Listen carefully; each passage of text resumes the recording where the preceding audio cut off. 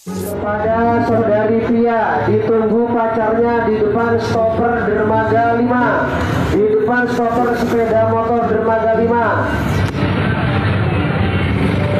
Mana? apakah ada? Apa pakai kode-kode tertentu? Saya melambaikan tangan. Saudari Pia.